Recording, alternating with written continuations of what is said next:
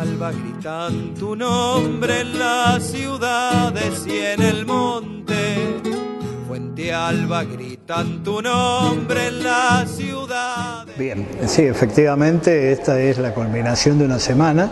de un plan de lucha que hemos estado llevando adelante a partir de lo que Conado Histórica ya en su último plenario había determinado, que es un paro los días miércoles, jueves y viernes. Eh, nosotros hemos estado haciendo distintos tipos de intervenciones en el marco de la Universidad Nacional de Cuyo a los efectos de eh, presentar cuáles eran nuestros reclamos y cómo está la situación respecto a la paritaria nacional. Como ha venido este nuevo gobierno, nosotros hemos exigido nuevamente que la paritaria fuera en febrero, pero bueno, no sucedió y sí la han abierto a fines de marzo, el 29, y ahora en abril ha habido una segunda reunión donde eh, se hizo la primera oferta de un 10% y un 15% a pagar en junio y en septiembre y bueno, esto es lo que se rechazó y nosotros solicitábamos 45% de aumento y la paritaria en febrero. Bueno, ninguno de los dos aspectos fueron satisfechos. De la Universidad Nacional de Cuyo y como cierre de una de las jornadas que hemos llevado adelante esta semana, en el marco de un paro de tres días. Exactamente, bueno,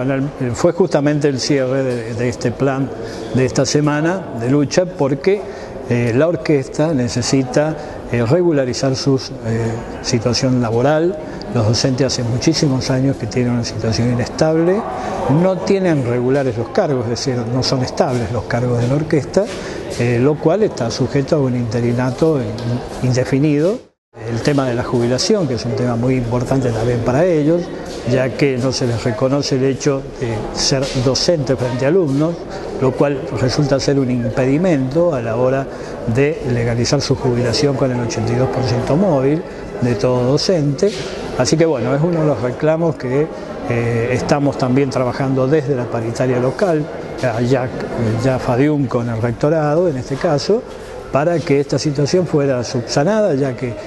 son docentes y también tienen alumnos y también los alumnos participan en sus actividades aquí en la orquesta y bueno, yo creo que sería, eh,